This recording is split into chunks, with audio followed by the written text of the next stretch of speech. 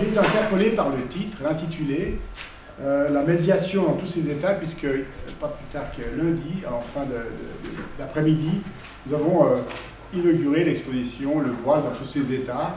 Euh, donc je me fais un petit peu parallèle avec la semaine contre le racisme qui débutait justement lundi.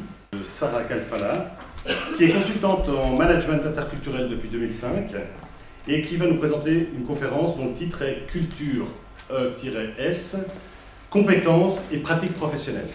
Nous sommes quelque chose de nouveau. Cette phrase revient de plus en plus souvent, depuis un certain nombre d'années, dans le cadre de ma pratique professionnelle, de la part de personnes qui ont 20 ans, 50 ans, 40 ans, peu importe, mais qui expriment quoi en disant nous sommes quelque chose de nouveau Les concepts de culture, d'interculturel, voire pour certaines de métissage, ne sont plus opérants, ne parviennent plus à exprimer toute la complexité de nos parcours, l'hétérogénéité de, nos, de, nos, de notre parcours, la diversité de nos parcours et notre complexité identitaire. Puisque toute culture est loin d'être une donnée, elle est le produit de négociations continuelles avec le monde extérieur, négociations à travers lesquelles s'affirme un horizon, une identité qu'on ne peut que définir que comme une création continue. Merci beaucoup pour votre attention. On est là dans le cadre de la semaine d'action contre le racisme où on a voulu bien placer euh, la manifestation d'aujourd'hui qu'on a appelée euh, la médiation dans tous ses états. Il faut d'abord se rendre compte d'une chose, c'est que euh, nous sommes à la quatrième édition du Forum romain sur l'interculturalité que nous avons initié il y a, ans, il y a cinq ans déjà.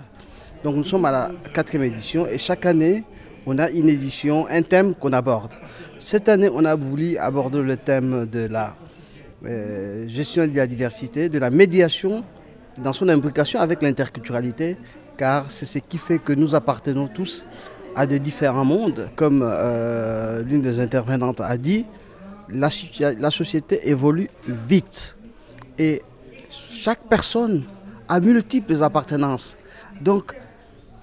Dans la juxtaposition de ces appartenances, nous devons faire en sorte que nous puissions nous comprendre mieux et vivre mieux ensemble.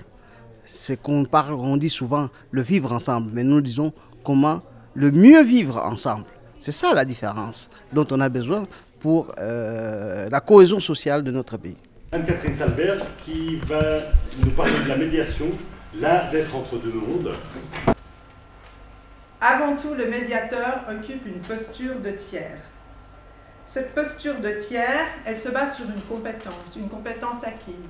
Un médiateur a une identité professionnelle propre. Un médiateur est impartial, indépendant et il n'a pas de pouvoir de décision. Enfin, la médiation repose sur un processus structuré qui permet la rencontre des personnes en conflit. C'est un processus qui est basé sur le dialogue, la coopération, la participation. Elle est encadrée de plus en plus souvent au plan juridique. De nombreuses lois, recommandations disent comment la médiation peut être mise en œuvre. Enfin, elle est consensuelle.